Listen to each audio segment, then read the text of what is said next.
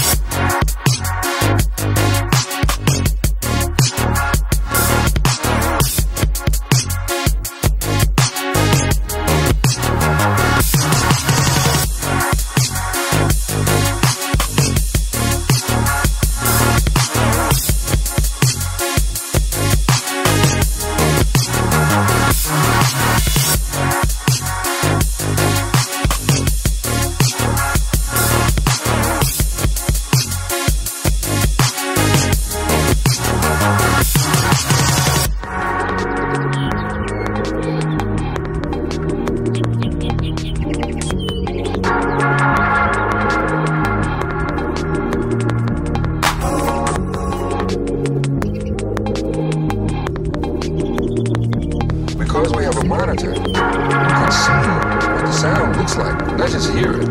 See what it's like.